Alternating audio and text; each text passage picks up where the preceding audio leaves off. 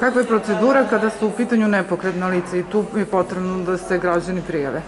Pa da, građani je potrebno da se prijave preko EU uprave. E, Do sada smo tri puta dobijali spiskove i već je urađena imunizacija takvih e, ljudi, odnosno e, ekipe Doma zdravlja, zdravstveni radnici iskušene nege su tri puta do sada za kako je počeo proces imunizacije stanovništva išli u, kod nepokretnih ljudi u njihovim domovima.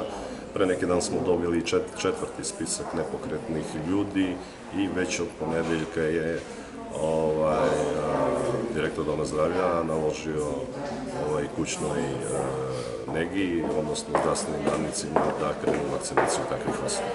S obzirom da koordinišete svim poslovima, da li imate neke povratne informacije iz Niškog kliničkog centra kako se organizuje vakcinacija ljudi koji primaju vakcinu u bolničkim uslovima?